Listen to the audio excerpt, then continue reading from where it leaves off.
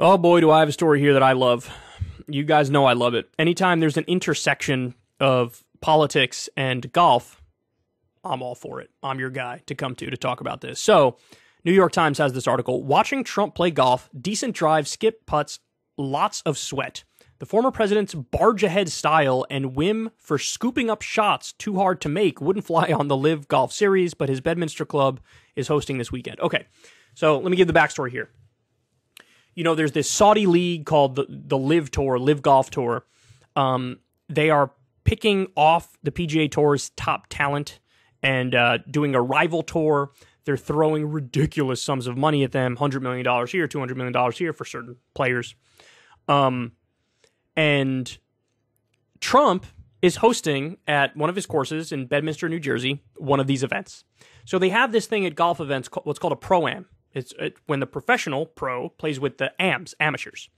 And so you have usually it's like, you know, wealthy people in, in business or whatever, a celebrity who they end up playing um, with the pro golfers. This is an instance where Trump decided, I'm going to play in the pro am at my own course.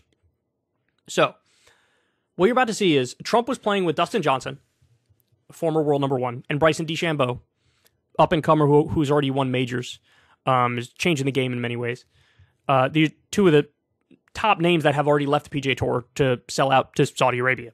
So Trump's going to play with them. There's it's an actual event. The pro am is an actual event. It's a tournament where you know there's winners, there's losers. There might be some weird, goofy trophy presentations, whatever. I'm about to tell you the story of what Trump does. He is the most brazen, brazen cheater in the world, and he acts like nobody else can see him. Okay, let's dive into this. Uh, Walking alongside Donald Trump as he plays golf is a lot like watching his presidency. He tells you how well he's doing, mistakes are disregarded, and the one constant is an endless stream of group photos with Trump blithely flashing a toothy grin and a thumbs up. It was as entertaining, revealing, and inexplicable as it sounds. On Thursday, Trump was a contestant in the Pro Am tournament on the eve of the Saudi backed LIV Golf event he is hosting this weekend at the lavish golf course he built in northwestern New Jersey. The intent of the outing was to team some celebrities and everyday golfers with the professionals, and Trump was naturally in the featured first grouping of the day. While Trump played a plethora of golf rounds as president, other than his guests, few were able to witness his golf game during his four years in the White House. The news media was kept at a removed distance, but on Thursday, nearly 50 media members credentialed for the tournament, as well as some event officials, would accompany Trump on foot for 18 holes. Trump's golfing party, uh, which included security, drove in a dozen golf carts, generally two to a cart. But there was one cart predominantly occupied by a single person, and it was the only ex president on the property at the wheel. Here's where it gets good. For the Pro Am, Trump was grouped with two of the best players to defect to the rival LIV golf circuit from the PGA Tour, Dustin Johnson and Bryson DeChambeau, who have won three major championships between them. About 15 minutes late, about 15 minutes late for his 10 a.m. tee time, Trump stepped onto the first tee dressed in a white shirt and black pants and sweating profusely under his signature MAGA hat. He looked pale. To be fair, a Trump National Golf Club Bedminster, which has little shade, no one walking the grounds on a humid day with temperatures in the mid 90s was comfortable. Stepping onto the tee, Trump quickly became the focal point of more than a handful of photos. He would organize the lineup of the people in the picture, often giving instructions on who should stand where, like a concierge of photo ops. Finally, it was time to start the round, and Trump's opening drive bounded left into bounded into the left rough.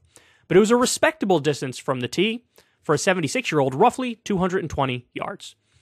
The format for the Pro Am was that each group would select the best tee shot and then play their second shots from that spot. Okay, so let me explain this a little bit.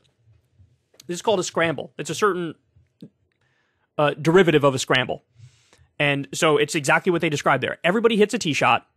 You pick wherever the best tee shot goes, you all the players put a ball down there, hit from there, and then you play your golf ball the rest of the hole. Okay, that's the format here that we're talking about. Um, it often made it impossible to assign exact scores for any player, but on the par 4 first hole, Trump needed five strokes to get his ball in the hole for a bogey. Okay, that's respectable. But on the second hole, a telling rhythm for the day's journey was set by Trump, and it defied the polite golf protocol of waiting waiting your turn.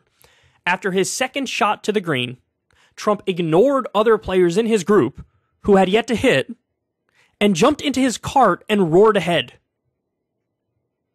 He parked within a few feet of the putting surface, also a no no since it can damage the delicate short grass in that area.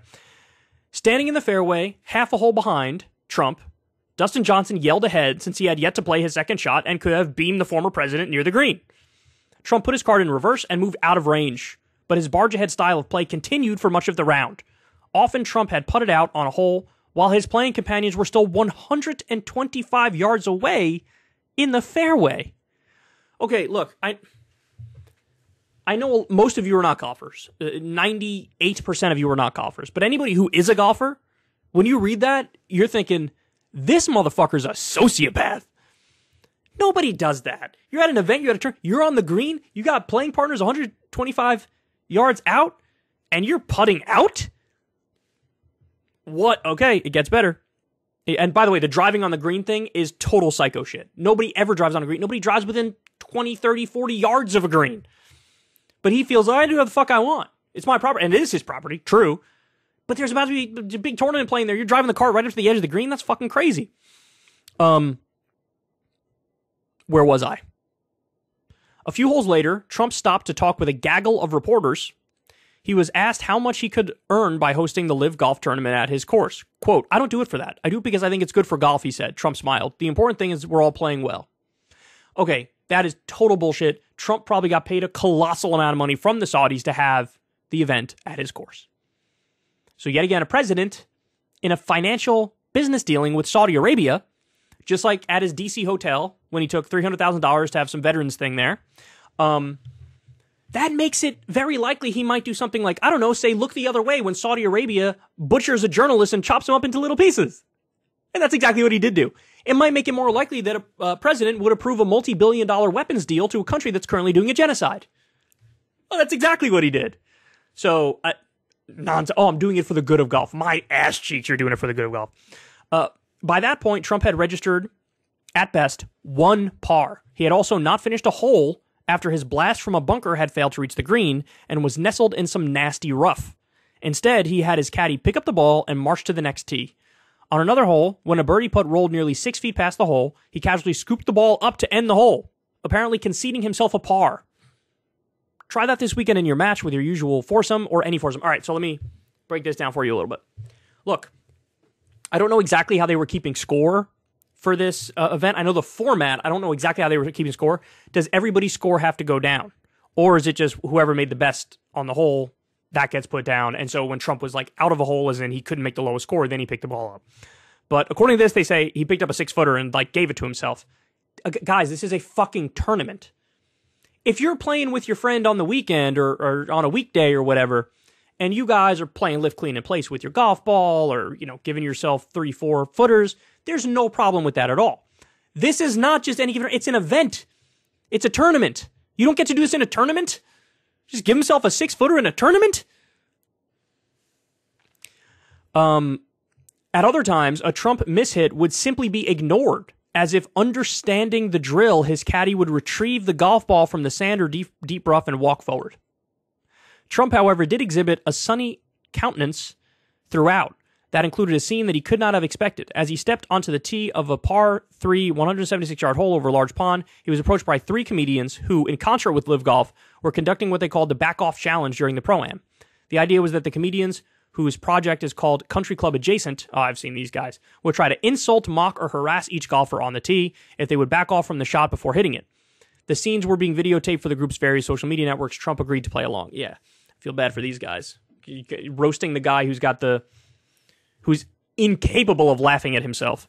Let's see what they said. As he stood over the ball, one of the comedians, Blake Weber, said, What would your following say if you hit this one left? Get it? Right wing, left wing. That's soft. They're going soft on him. Said Jake Adams. You built a golf course just to miss the green? That's also kind of weak. And finally, from Griff Pippin, Your swing looks broken. Was it made in China? Trump did not flinch. They went soft on him, man. There was so much more there. Uh, Trump did not flinch, but he did slice his shot into the water. Then Trump posed with the comedians for a group picture. He paused a beat and smiled while simultaneously raising his right thumb. Okay. All right. So, I mean, this is classic Trump. I, my friend's dad is a member at one of the most exclusive golf courses in the country, and he's told us stories of he has played with Donald Trump before. He knows people who play with him or used to play with him somewhat regularly. And uh, massive cheater. Again, not in a casual round where you're having fun and there's no stakes. In like tournaments, in events, he'll you know drive the cart right up next to the green, give himself six foot putts. Um, have I've heard stories of have caddies move the ball for him when he's in a tournament and hit it from the place that's now better after the caddy moved it for him, like kick it into a better lie, etc. Classic. It's classic. And this is exactly what you'd expect of Donald Trump. The, I guess the thing that's most surprising to me is the, you know, you're playing with Dustin Johnson and Bryson DeChambeau, two of the best golfers in the world, and you're like finishing out holes when they're still 125 yards. Like that's fucking crazy, man. That is insane. Anyway, there you have it. Um, and I'm sure he got paid a colossal amount of money to have this uh, event at his uh, his course. If he becomes president again, if he wins again, you can expect the relationship with Saudi Arabia will be insanely tight. Um, it will be two peas in a pod of you know massive authoritarians repressing their political opponents and defending each other to the hilt. Ever since Adpocalypse, when YouTube defunded all independent news and politics overnight, we haven't trusted them. We know they can pull the rug out from underneath us at any time. If you enjoy this content, please consider tipping a dollar or two per month on the Secular Talk Patreon. Link in the video description box below. Thanks for your support.